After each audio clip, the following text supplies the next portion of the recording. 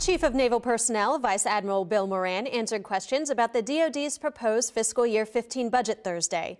He said we can expect a 25% increase in career sea pay for all sailors with at least three years of total sea duty.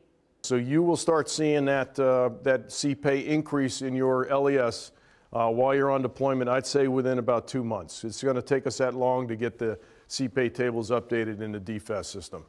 CNP said the size of our Navy will remain stable at less than 324,000 sailors for the foreseeable future. He also spoke about the fleet's quality of work initiatives included in the budget. This includes funding for upgrades to berthing and barracks and for ways to improve readiness. For more information, read the article on the Navy Live blog.